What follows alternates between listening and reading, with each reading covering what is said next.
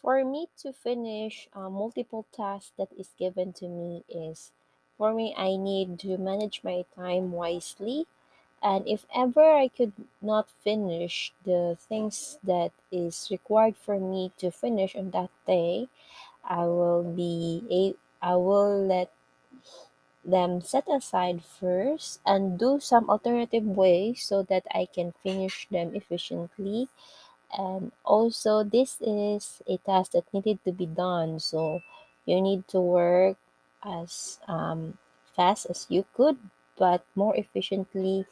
and do not compromise work activities.